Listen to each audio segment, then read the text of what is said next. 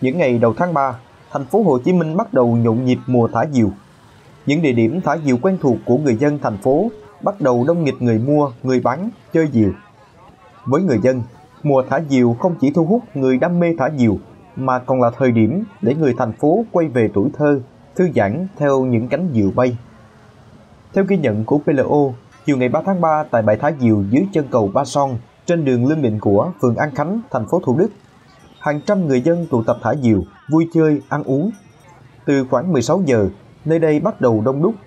Người buôn bán cho biết, vào những ngày cuối tuần khoảng 17 giờ là không còn chỗ ngồi. Đa phần người dân đến đây không chỉ để thả diều, mà còn để ngắm diều bay, thư giãn, tìm về tuổi thơ. Những ngày này, bầu trời thành phố rực rỡ sắc màu diều bay. Diều có rất nhiều màu sắc, kích thước, hình dáng. Các loại diều được người dân ưa chuộng đa phần là đại bàng, cá mập, bạch tuộc, bươm bướm. Bên cạnh có thêm nhiều mini dành cho những gia đình có con nhỏ, có giá khoảng 40.000 đồng. Những năm gần đây, nhiều người không ngần ngại chi tiền khủng mua những con diều có kích thước lớn để thả. Diều có giá dao động từ 40 đến 250 ngàn đồng tùy kích cỡ, chất lượng.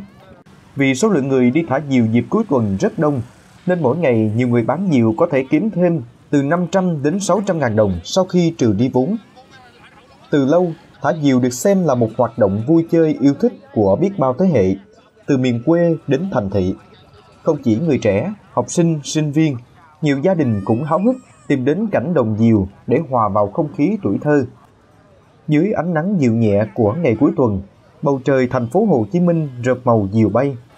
Cùng với sự nhộn nhịp của mùa thả diều, các hoạt động buôn bán hàng rong cũng gia tăng.